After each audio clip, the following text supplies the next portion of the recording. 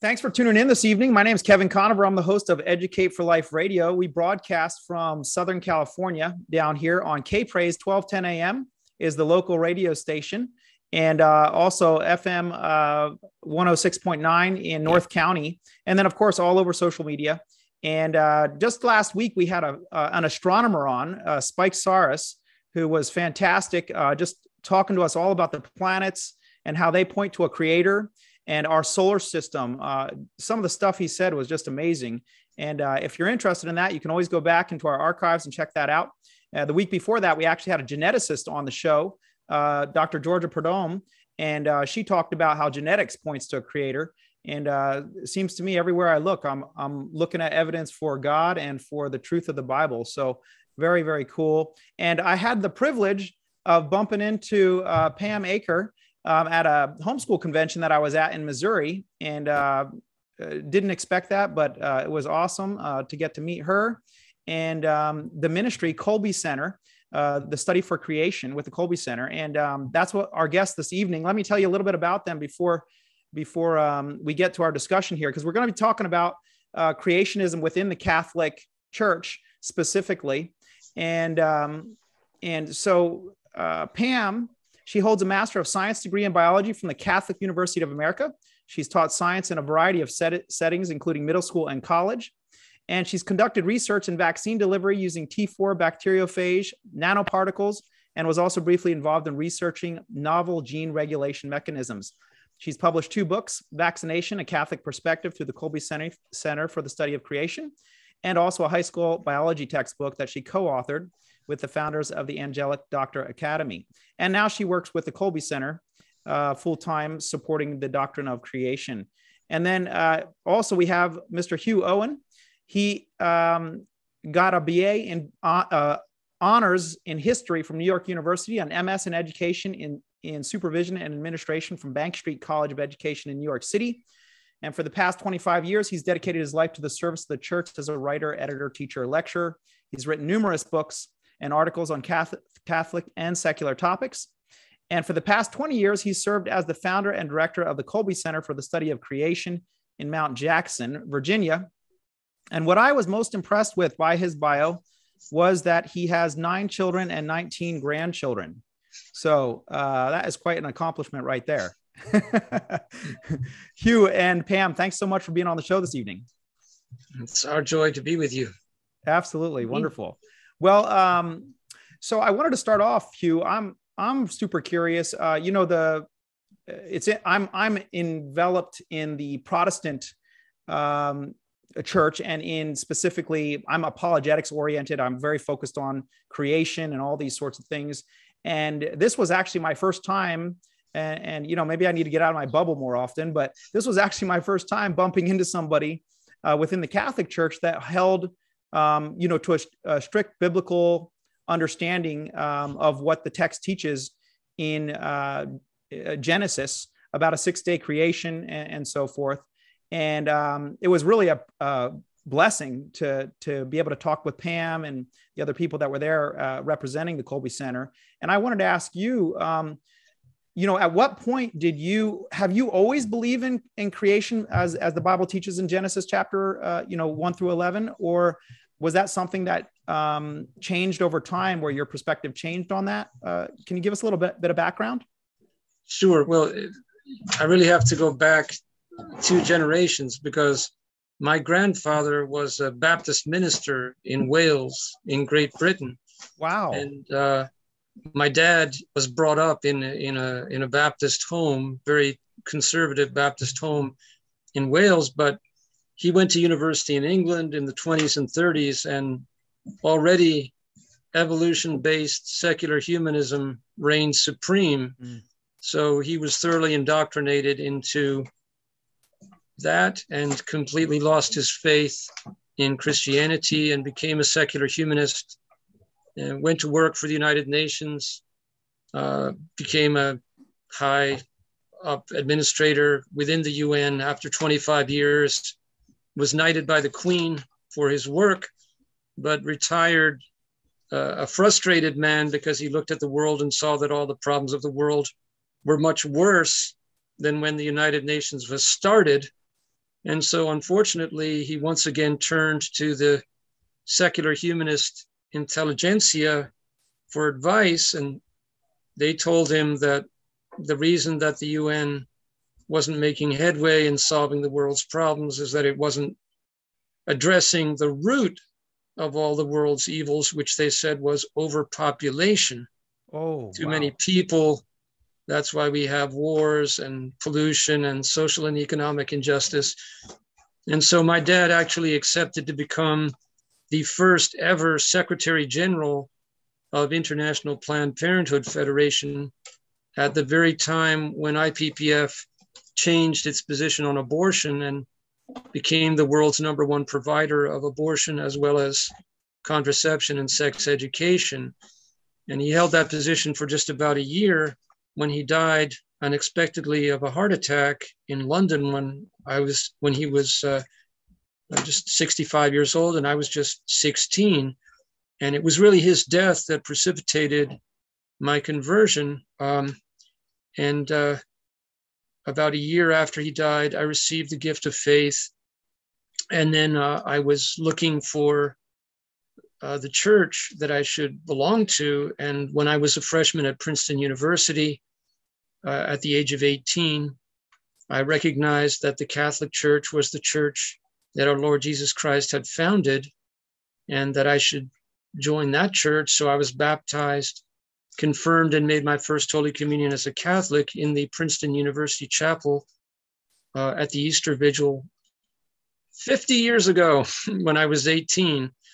And uh, of course, at that time, there was already quite a bit of confusion within uh, Catholic academia.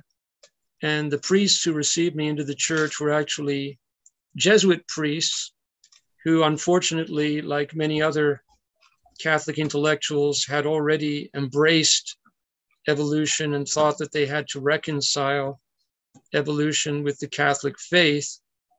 But um, uh, by the grace of God, I came into the church without really being convinced that this reconciliation was necessary or valid. And eventually, um, you know, I, I discovered that the authoritative teaching of the Catholic Church was completely incompatible with evolution. And um, because the leadership of the church had actually asked uh, back in 1950 for Catholic intellectuals to examine the claims of the evolutionary hypothesis, and there wasn't really any kind of forum in which to do so. Um, in the year 2000, with the encouragement of my pastor, I founded the Kolbe Center for the Study of Creation to provide a forum for the Catholic theologians, philosophers, and natural scientists all over the world who held fast to what is actually the traditional authoritative teaching of the Catholic Church, what was believed and taught by all the apostles, fathers, doctors, popes, and council fathers in their authoritative teaching from day one. And, uh, and that's, that's what we do. So that's really interesting to me because, you know, you, you've really, um, you're really swimming upstream in a sense. Uh, you said that you know all these academics and all these uh, people when they when they joined the church, they felt that they needed to somehow meld evolutionary teaching with the doctrines of the church, and yet that's not something that you you went along with. How how did you end up not? You know, there's so many people in leadership and in authority that take that position. How did you not just go along with that? Well, um, I've always been a a student and a lover of history, and especially the history of the people of God. And one thing that I've learned very, very well from uh, studying the Bible and also studying the history of the church and of the people of God is that this problem of um, forgetting Genesis, forgetting what God told us to remember when he gave us the Ten Commandments written on those tablets of stone. This has been a problem for the people of God for a very long time. Mm. And uh, as, as I'm sure you and and your listeners and viewers are aware, um, if we go back and look at the history of God's people from the time of King David up to the coming of our Lord Jesus Christ, we can see that there was collective amnesia mm. with regard to the sacred history of Genesis to the point that the pretty much the whole leadership of the people of God went over to idolatry. Mm. They were worshiping the sun and the moon and the stars and practicing all kinds of sexual immorality in connection with this false worship. And it was so bad that, as you know, during the reign of King Josiah, was one of the few, the few good kings that came came along during that thousand year period. Uh, it was so bad that we read in the Word of God that Hilkiah stumbled upon the law. They had mm. completely forgotten Genesis to the point they didn't even know that it existed. And it each man did what was right in his own eyes. You know, he found the scroll of Moses written in the hand of Moses. And of course, when they read it to the people, they were convicted because it was something that was totally unfamiliar to them. Mm. So I see that during the last 100 years, there's been a kind of a collective amnesia mm. within Catholic academia, not only with regard to the sacred history of Genesis, but with regard to our own teaching that was handed down from the apostles but it doesn't it doesn't scandalize me it it breaks my heart but it doesn't scandalize me because I see that the same thing has happened within the people of God in the past. And, you know, God didn't say when he looked at all of this idolatry and sexual immorality and, and apostasy on the part of the church, uh, the, the, the religious leadership and the civil leadership, he didn't say, well, okay, I'm done with you people. I'm going to find another family from which to bring forth the Messiah. No, he had promised that the Messiah was going to come from the house of David and he wasn't going to break his promise. And it, we believe the same about the Catholic Church. Sure, sure.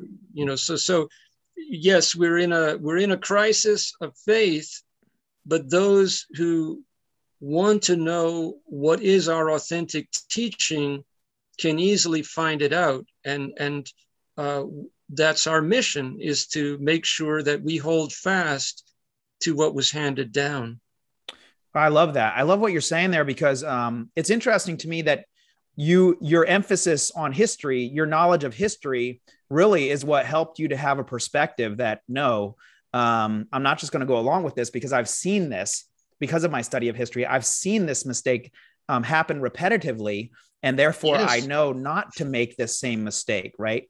And um.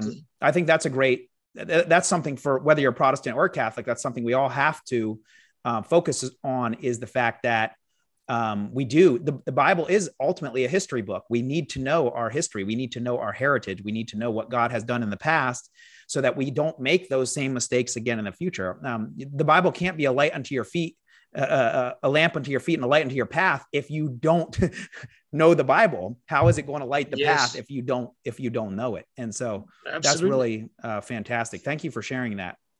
That's very encouraging um, Pam, I wanted to ask you the uh, same question that I asked Hugh, which is um, can you give us a little bit of background how you came to your position that, uh, you know, the biblical creation perspective, uh, especially as a biologist, uh, scientifically, again, it's it, you're swimming upstream. There's so many in academia who who don't hold that perspective. Um, where did you come from, and uh, has that been a tough road to travel um, with your peers, you know, it, going in the opposite direction a lot of times. Sure.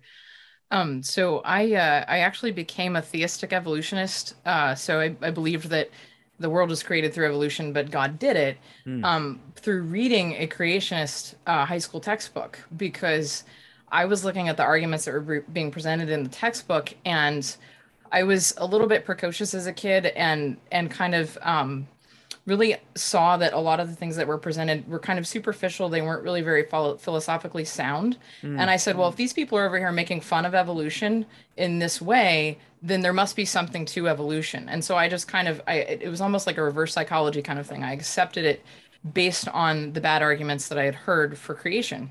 So and can I ask you about that, Pam? Um, sure. So when you say these people over here were making fun of it, because this is something um, that I find like what you're saying to be very dangerous is to just um, haphazardly treat you know the arguments without because I teach high school students, I teach 12th grade high school students, and it's very important that um, the dialogue is fair, that it's not ad hominem right. ad hominem arguments uh, or just name calling. Um, right. So, who was it when you were growing up that was that was just making fun of it and not actually giving you good answers? So it was actually my uh, mom started homeschooling us when I was a freshman in high school, way before it was cool. This is back in the mid '90s. Um, so, uh, so I was using a biology textbook from Abeka um, Publications, and that was where I had I saw the arguments presented. And prior to that, eh, you know, because this isn't something that's really preached about from the pulpit, unfortunately, no. um, much in the in the Catholic Church. Um, although my pastor preaches about it literally all the time. Wow. Um, yeah, he's amazing. Where do you go to church? I, I want to. We got to uh, get this guy's I, name out there. I, I, know, right? Like, uh, I, am not allowed to say that on. Oh, okay, on that's all right. That's all right. He doesn't. He doesn't like me to throw him under the bus like that. But oh, um, okay.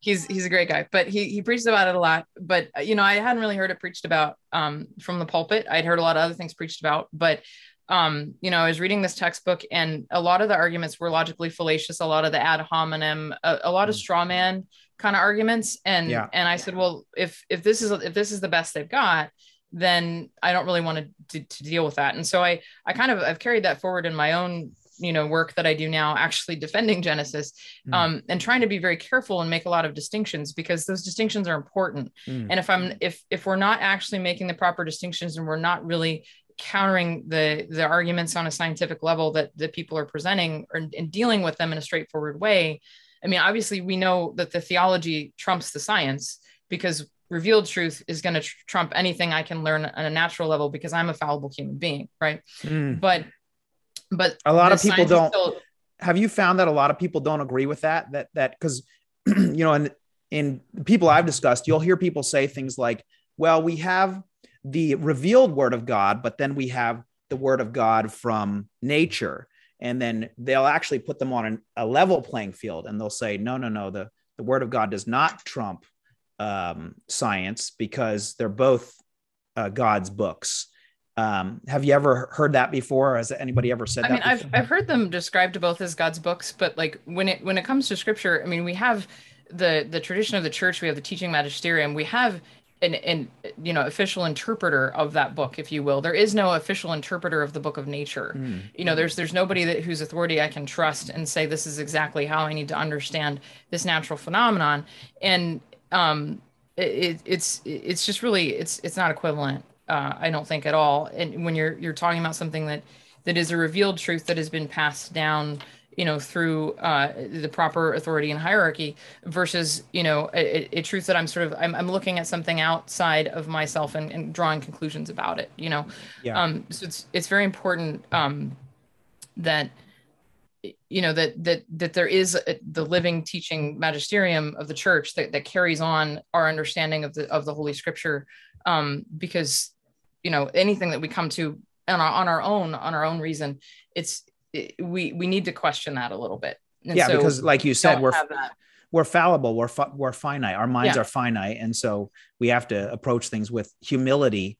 And uh, ultimately, um, the Word of God is our final authority, like you said, for those very reasons, uh, because it is the rock we can lean on, uh, the unchanging, inspired, infallible Word of God. Right. Yeah. You know, properly interpreted through tradition and, and all of mm-hmm. that. Um, so yeah so i don't i don't think that the two obviously are on the same playing field. And but i do find that a lot of people um, don't like the idea that theology is the queen of sciences. And i didn't even like that at the beginning. I used to argue with hugh actually. I'm like we got to we got to deal with the science stuff first because because if people don't take these preconceived notions out of their head they're never going to listen to what we're saying. Mm. but but he pointed out to me and i think this is very true that you know, we always start and we always end with the theological premises because that's that's what actually is most important. And the very fact that we always start with it and end with it shows the proper order of things. And so i always give my talks in the middle where i take uh, you know the the icons of evolution if you will and mm. and debunk the science behind those things. Um, but i actually started kind of coming back to um, coming back out of evolutionism in college when I, I learned about proteins and genes. So mm. my primary focus in my my undergrad was in the area of genetics. I was very interested in in doing. Um, I was actually interested in uh, genetically engineering vaccines. So I've had a conversion on that as well. Oh wow, that's interesting. Engineering and the vaccines. That would that would be a that would be a whole nother show, right? It's there. a whole other podcast, right? so, um, but uh, so that, that was my primary interest in looking at looking at the incredibly complicated way that genetic information is coded in the genome mm. and then it's codes for these incredibly complicated molecular structures called proteins and i can't have the code without the proteins that actually build the code and mm-hmm. i can't build the proteins without the code. So it, it was it's kind of a molecular chicken and egg problem. Yeah. And I think a lot of people look at they they look at you know sort of organism sequences and they say, okay, well maybe I could see how a dinosaur evolved into a bird or imagine how a monkey evolved into a man. But when you zoom way in and you look at the cellular level, you can't really imagine how it non non-living matter became living matter. Mm. Like there's there's really there's no conceptualization of that. And you can't really imagine how you you got this this incredibly complicated information conveying system that that's you know microscopic that that's totally integrated with the system that that builds it you know? Um, so i started to kind of it, it, cracked the facade at that point you know through the natural sciences but it wasn't until i met hugh um, at, at one of the seminars that he gave in a parish um, about i don't know seven eight years ago that then i really kind of came all the way around and i remember him putting up a slide in his presentation and and he talked about what you have to believe about the character of god um, based on what you believe about the way he created and he, he just kind of had two lists you know you had the god of evolution and the god of creation and I, I looked at that slide and I realized that I couldn't believe that God created through evolution anymore because of what it says about the character of God. Because God did not create an imperfect world mm. And he did not use death and deformity and disease to to to somehow bring to some culmination you know the, the this human being that then then he's somehow infused with an immortal soul. Like that's not how a good god would create. He created something perfect in the beginning and and we messed it up yeah you know? yeah. and and that's a very very very different god and it's a very different faith ultimately um when you when you start living according to that understanding of creation so wow that's powerful really the theology that converted me in the end that's really neat. Um, yeah, and that that is that's a really um, a, interesting distinction that uh, because there is a lot of people that believe in theistic evolution. They believe that God used evolution in order to make everything, um, but but that would have mean uh, millions and millions of years of death and destruction of animals. The survival of the fittest is brutal. I mean, even oh, yeah. Darwin Darwin talks about it that um, that's actually impacted his own faith in God was that he felt that nature was too cruel in order to be able to say that a good God did this. Um, uh, so that's that's really powerful um, to have come from that from both the theology perspective as well. Um, Hugh, I wanted to ask you about this also. Um, you know, your the story of your father is such a tragic story uh, of of how here he was a Bible believing Christian, and then evolution itself um, was dis- the, the the idea of it was destructive enough to ultimately cause him not to believe in God. Um, was that because he just couldn't justify the the connection between what the Bible taught and what evolution uh, presents, or is that was was there something else besides that that that drove him away from Christianity? Well, since since my last conversation with my dad occurred when I was 15. Mm. I it's I have to do some guesswork about that, kind of putting clues together. But it seems to me that my dad didn't really become an atheist so much as an agnostic. Mm. Um, he, he, like so many others, was content to say that science could explain the origins of man and the universe, but maybe there was some higher power behind it all.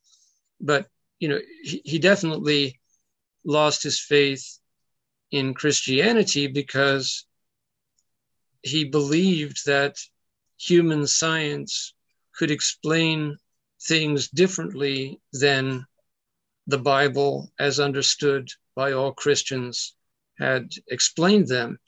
And, and that was the case with so many millions of people in his generation, and it's going on today. Of course, it's been going on for the last 100 years. Mm-hmm.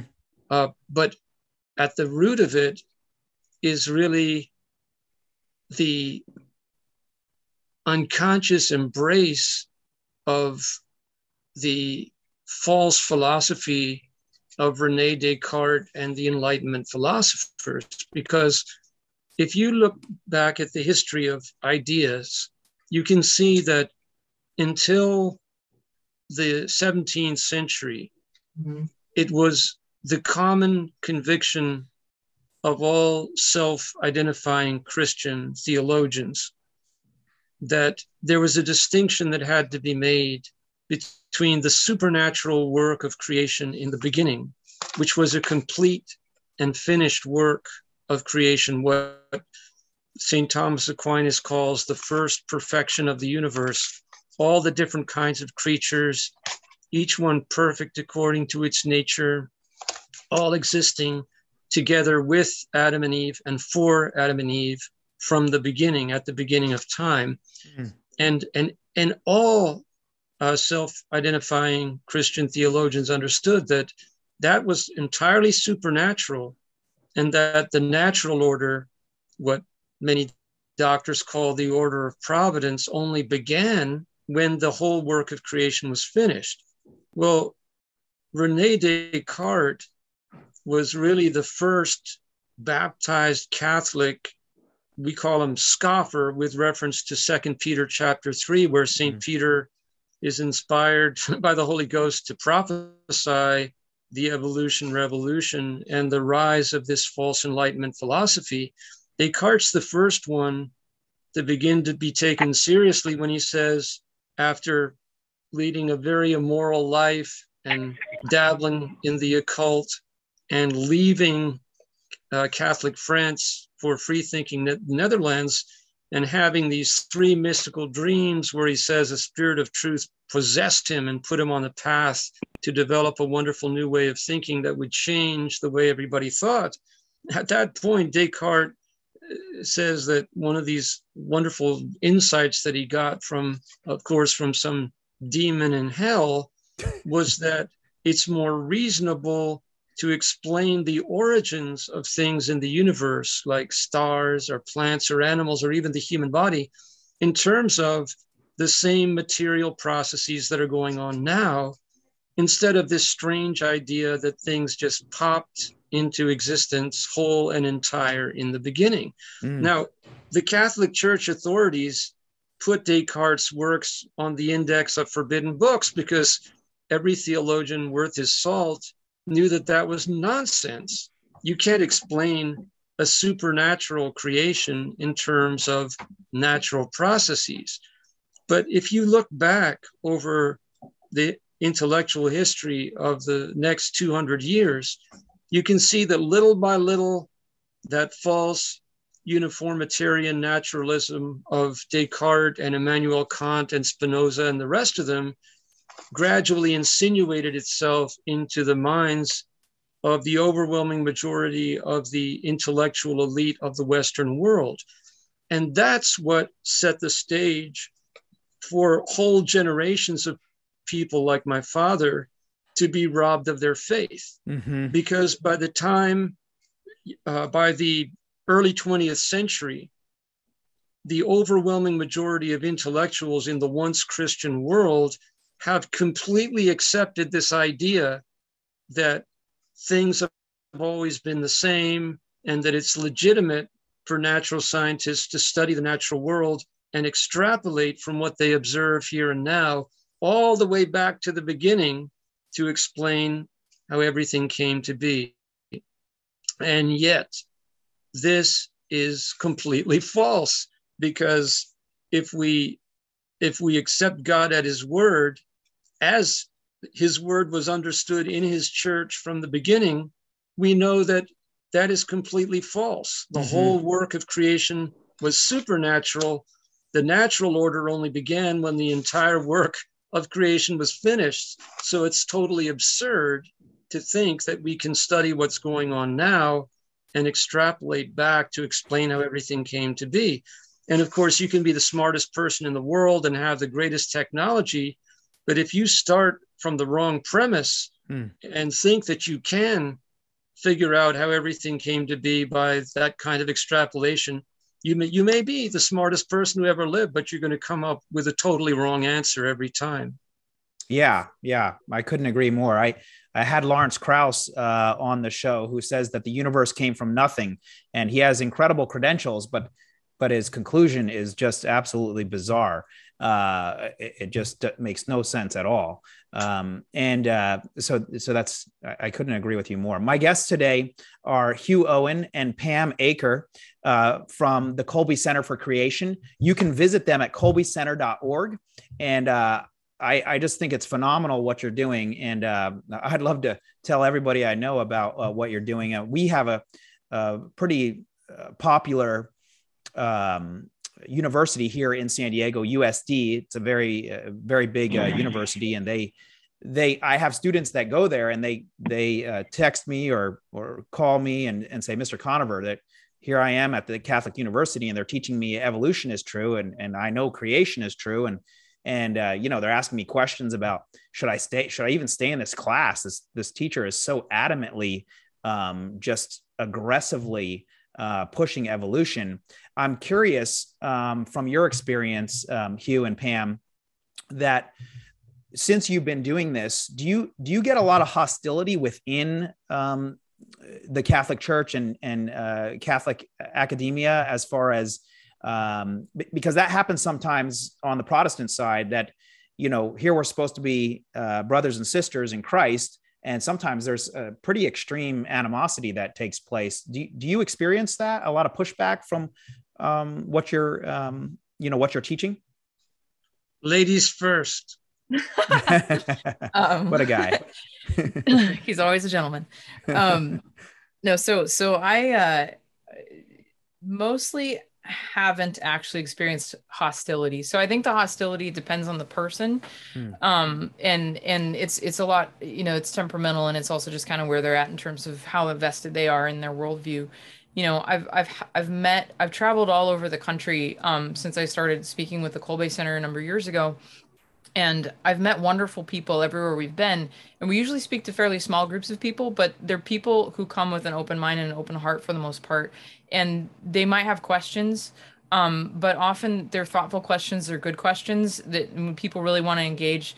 Um, it's it's a little intimidating for me. I'm not I'm not uh, an argumentative type, you know, and I'm defending you know one of the most argued about positions I yeah. think in our day. Um, but uh, you know, it's it's it's been really beautiful just to see how many people are, are actually interested in hearing um and hearing about it.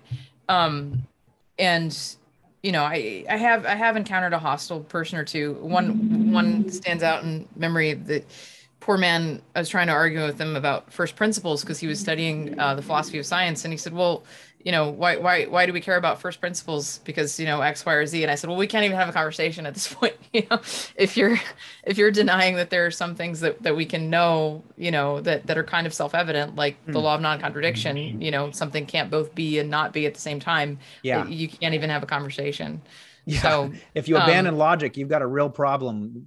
right. Then, right. so, so yeah. Okay but Hugh's been doing this longer than me, so he might have some some more stories. What about you, Hugh? Yes, we we, we do encounter uh, opposition, and um, I, I don't hesitate to say that that it's clear from our experience that uh, the devil has a special hatred for this fundamental doctrine of creation and it we can see how he works overtime to keep this truth from being proclaimed, especially mm. to young people. And uh, and sometimes it can manifest when um, one of our members goes to somebody in authority, let's say the head of a school, and this person is normally very kind and uh, even tempered. And at the request that the Kolbe Center be allowed to make a presentation in the school, this person might fly into a rage and order the person out of his office, which is totally out of character. Well, we, we've seen this quite often all over the world, and it doesn't surprise us because we, we have to say that when a person acts so so much out of character that there's a, a preternatural element that's entered in to the situation. So yes we're, we're dealing with an intellectual controversy but as one of our patrons uh, st maximilian kolbe always reminded people this is primarily a spiritual warfare, and our our enemies are Satan and his minions, and they are the ones that are trying their best to keep people in the dark with regard to the truth about creation because anybody that understands the doctrine of creation correctly knows that God who is all good, all loving, and all wise, created for us a perfectly beautiful, complete, and harmonious universe. And that when we messed it up with the original sin and our subsequent sins, he came into the misery that we made, took it all upon himself, suffered and died, rose again, founded the Holy Church, sent the Holy Ghost upon her so that we, miserable sinners, could be new creations in Christ and cooperate with Him in restoring everything back mm. to the beauty that it had in the beginning and, and bring it to an even more beautiful final perfection. Who wouldn't fall in love with a God like that? That's that's the proclamation, the foundation of the gospel that converted barbarians mm. to the to the Catholic faith in the early centuries of the church. So devil doesn't want us to proclaim that. He wants us to present the Christian faith on a different foundation, which is false. Mm-hmm. And this is why we're seeing a mass exodus of young people out of the church, because the faith is being presented to them incoherently mm-hmm. on a false foundation. And as, as it says in the Psalms, foundations once destroyed what can the just man do? Mm. I I love that. Thank you for sharing that. That was wonderful. Um, you know, and I I couldn't. I mean, I I've I've been teaching now for 15 years, high school students, and when they get a coherent view of creation and the fall and redemption, boy, their eyes light up. And you, it, it is unbelievable what God does when um, the truth gets inside of them. I mean, they're so excited um, to see how logical, how much it makes sense. Um, you know, just like the Bible tells us, "Come," God says, "Come, let us reason together." And uh, though your sins are like scarlet, they will be white as snow. And that that is, um, they just see it makes sense. And and I I tell my students, you know, God has taught us to be attracted to, or He's created us to be attracted to two things: love and truth. And if we come to somebody with both love and truth, it is irresistible. Um, that that uh, just combination is just amazing. So um, I love it. I love what you guys are doing. Um, KolbeCenter.org for those of you listening, um, if you want to get more involved. And that was my next question for you, uh, Hugh and Pam. Was you know, um, Hugh, how how can people be more involved with what you're doing? Uh, because I, I just want to shout it from the rooftops and and get more people involved in in your ministry and your efforts because uh, I I just think that it it catches fire when people find out about it and they start to learn, um, they grow and they just get excited. Um, what what can people do to get more involved with what you're doing? Well, first of all, if any of the students enrolled in the Catholic University in your area uh, want to contact us, we'll gladly give them all the support that they need. And we, we also have a, a standing invitation to have a public debate with any theistic evolutionists anywhere in the world. Um, we've had that out for 20 years, and amazingly enough, we've only had two takers in that entire period of time. So, wow. if anybody can find uh, two theistic evolutionists that are willing to have a debate with us in a public forum, we'll, we're happy to go anywhere to to do that because that's another another way, not necessarily the best way, but it is a way of getting the truth out there. Um, but what I would encourage people to do who'd like to get more involved, if they really have a conviction of the importance of the true Catholic doctrine of creation as the foundation of our faith, the first article of the Creed, I would encourage them to come to the, our leadership retreat. We have a week long leadership retreat every year. Uh, this year it will be at a retreat center in Ohio. And that is a wonderful place to get a really solid foundation in the theology, philosophy, and natural science that one needs to be able to really defend this truth effectively. And it's also a wonderful opportunity to meet the um, uh, other people from all over the United States and even from other countries who also have this commitment to advancing our mission. Um, but uh, there are so many wonderful resources that are available now through our website. We have a, a DVD series in which Pamela features prominently, which took us a number of years to complete.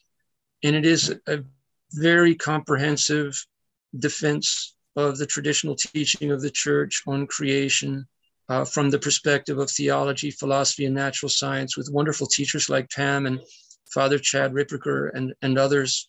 Um, and uh, we have a dedicated website for that DVD series, www.foundationsrestored.com. Can you and repeat that one more time, Hugh? Can you repeat that website surely. again? Yes, www.foundationsrestored.com. And anybody can go onto that website and view the first two episodes of the 13 in the series for free. And then um, if, if you want to get the DVD series, you can either get the physical DVDs or you can get the online streaming so that you can watch the whole thing on the website. And I should also say, because you may have viewers in in other parts of the world, um, or people who are just in, in difficult economic circumstances, we uh, operate on a suggested donation basis. So if somebody wants to take advantage of any of our materials and they cannot afford the suggested donation, as long as they promise to share the information as much as they possibly can, we will gladly give it to them for whatever they can afford to uh, to donate, or nothing at all if that's if that's all that they can manage. Um, so I would say go to these websites. Um, if you're really zealous for the cause, contact us about uh, taking part in the leadership retreat, and um, I, I, think that will cover the waterfront pretty well. And and any students, any Catholic institution who uh, are being taught that evolution is a is, is a fact or that Catholics must believe in it, we can provide them with all the resources they need to know that this is not true and that the true authentic authoritative teaching of the Catholic Church is to take God at his word in the sacred history of Genesis. That's fantastic. Well, we're just right about out of time here. And uh, Hugh and Pam, I just want to thank you so much for being willing to come on the uh, the program this evening. Thank you for it's having us. Joy. Absolutely. And I am really going to look into seeing if I can arrange something over at USD here in our local uh, Catholic university for a debate or some sort of a co- conference.